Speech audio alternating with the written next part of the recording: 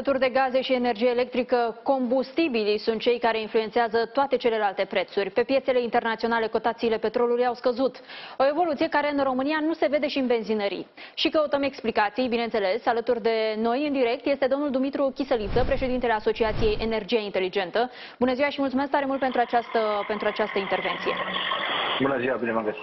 De ce nu scade prețul benzinei, prețul motorinei, dacă petrolul s-a ieftinit? Mă, din păcate, ce putem să vedem pe piața barilului de petrol, o fluctuație foarte mare. Dacă acum două zile era 91, ieri era 94-95 de dolari barilul. Asta face ca, de fapt, să nu avem o stabilizare a prețului barilului, iar probabil benzinarii sunt uh, temători că va fi o revenire a prețului la nivelul către 100 de dolari, 95-100 de dolari, practic uh, pentru acest preț, uh, prețul care este astăzi la pompă este cel uh, corespunzător. Dar în momentul, pentru că este o întrebare pe care am primit-o foarte mult în ultima perioadă, în momentul în care petrolul s-a scumpit brusc, de ce nu a existat aceeași reticență din partea benzinarilor? După cum am văzut în ultimii 20 de ani, este comportamentul care există la nivelul benzinarilor atunci când există o creștere a țițeiului, vedem imediat o creștere a, a prețului la benzină și motorină, nu vedem acea situație atunci când apar aceste, apar aceste scăderi. Este un comportament specific și nu este doar în România. Să știți că chiar mă uitam zilele trecute la țări precum Austria, Cehia, Polonia și acea situație o regăsim și acolo. Și când vom putea vedea, domnule Chisăliță, o diferență, o schimbare la pompă?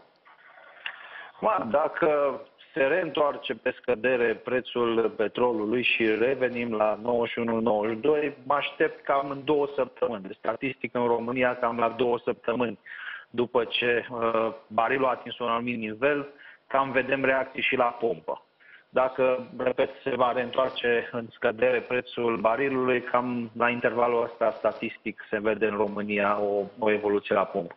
În același timp trebuie să avem în vedere că în 30 de zile dispare or, efectele ordonanței de urgent privind uh, acel 0,5 lei pe baril, uh, în momentul în care nu se va prelungi această ordonanță, iar nivelul prețurilor vor rămâne așa cum sunt în momentul de față, 94-95 de dolari de barilul, din păcate, o să, revenim, uh, o să revedem 8 lei pe litru sau peste 8 lei pe litru prețul benzinei.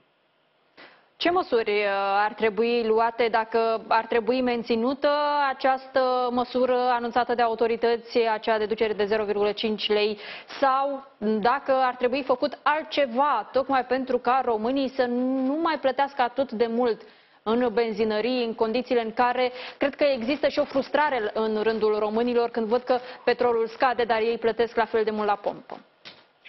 În ceea ce privește evoluție sau previziunile pentru baril, până la venirea iernii, diversele prognoze dau barilul de țiței undeva între 95 și 100 de dolari barilul, adică cumva uh, similar cu prețul uh, pentru care este făcut în momentul de față prețul benzinei și a motorinei, dar uh, după aceea majoritatea prognozelor arată că odată cu venirea frigului vom asista la o creștere a cotației barilului de petrol, ori în acel moment, din păcate, lucrurile se vor reflecta și în România. Tocmai din acest punct de vedere, consider că menținerea schemei de sprijin ar trebui să se realizeze cel puțin uh, încă trei luni de zi. Sunt discuții în acest sens? Știți să fie discuții în acest sens? Singurele discuții care le-am auzit în spațiu public este de uh, eliminare la 30 septembrie acestei scheme. Mulțumesc tare mult, domnule Dumitru Chisăliță, pentru această intervenție și pentru discuție.